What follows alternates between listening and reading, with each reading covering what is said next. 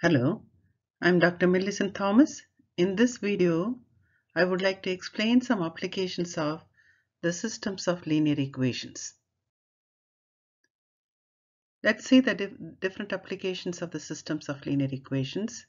The applications are polynomial curve fitting, network analysis, electrical network analysis, traffic or water flow, and also balancing the chemical equations. Let's see the first example for polynomial curve fitting. There are five points given and we are asked to fit a polynomial using these five points.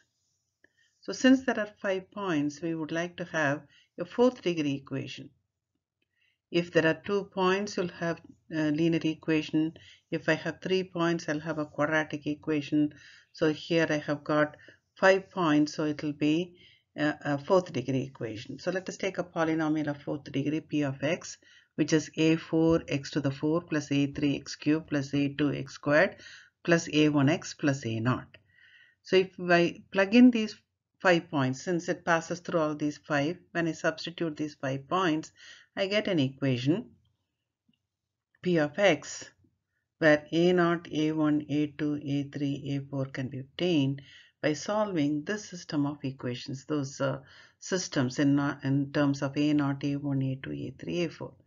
We can solve that using uh, the Gauss-Jordan's method or uh, de determinant method or graphing the calculator or maybe even using our TI calculator.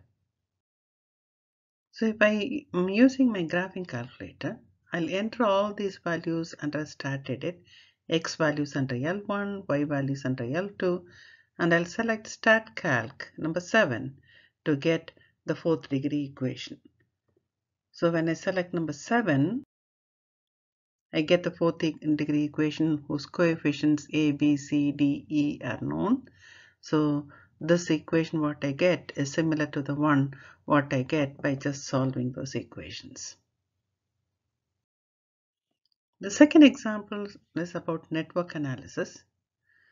Usually the networks are composed of branches and junctions which are used as models in field of economics, traffic analysis, electrical engineering, etc. even in water flows. Suppose if 25 is the input and x1 and x2 are the output, then you'll have an equation, balanced equation, x1 plus x2, the output must be equal to the input. The same case whether it is the water inflow or uh, traffic flow, whatever it is, you have the same method. x1 here in this case, in this diagram, we have x1 plus x2 equal to 25. Let us see this in uh, example where I have got four, five nodes and the traffic inflow and outflow at each node is there. So there are five junctions. So for each junction the traffic inflow will be equal to the traffic outflow.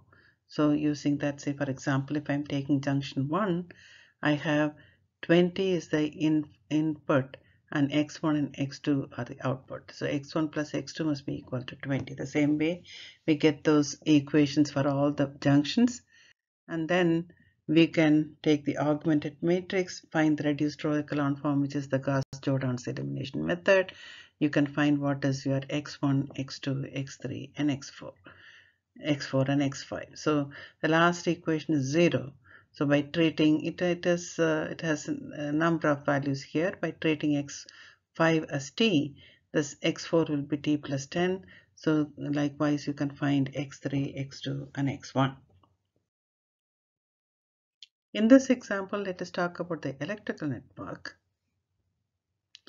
So we have two junctions, junction 1 and junction 2. We are applying the law of Kirchhoff's here I1 plus I2 must be, so I1 plus I3 must be equal to I2 for junction 1 or junction 2. And if you're taking two different paths, you take all those R1 times I1 plus R2 using the second law you get R1 I1 plus R2 I2 is 3 I1 plus 2 I2 which is 7 the same way you get the next one. So you have three different equations in terms of I1 I2 I3 you can use the reduced row echelon form of it and find the value for I1 I2 I3 if we are talking about the water flow or traffic flow you if the flow is like this say for the first one we will have 600 as the input x1 plus x3 is the output. X1 and x2 x3 are the output. So for all those six junctions we can find the equations like this. Take the augmented matrix find the reduced row echelon form so that you can get the seven values x1 x2 x3 x7 and a specific value when x6 is equal to 0 and x7 is equal to 0 that is when s equal to 0 t equal to 0 we can find the solutions. And also when x6 equal to 0 when x is 0 and x7 which is t is negative 1000 we can also find the value for this.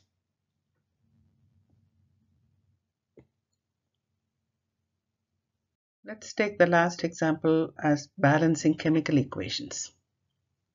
Let us say the sodium hydroxide react, reacts with sulfuric acid and it yields sodium sulfate and water. So using this equation, sodium hydroxide and sulfuric acid that yields sodium sulfate plus water H2O which is not balanced. So we have to balance this equation. We have to find the unknowns W, X, Y and Z. So let us take each component separately, sodium separately, oxygen, hydrogen and sulfur and try to balance this.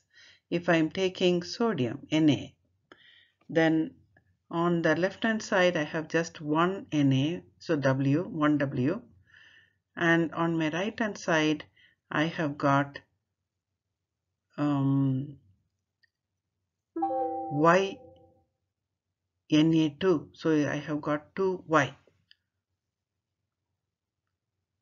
and the same way if I'm taking oxygen on my left hand side the first one I have got WO so 1W and the second term from the second term it is XO4 so it is 4x equal to. On my right hand side I have YO4 so it is 4y and ZO so it is Z. So the same way for the hydrogen and um, I can get the value for sulfur S. And try to get the augmented matrix and make use of the reduced row echelon form you can find what the values of x, y, z and w are. Once when we know the value for x, y, z and w, we can substitute and find, compare, um, complete the balancing the equation. So in this video, we talked about the polynomial curve fitting, network analysis, network analysis in electrical also, and also we saw, what is a water flow and traffic flow. We also saw how to balance the chemical equation using the systems of linear equation. Hope this video was helpful. Thank you for watching and thank you.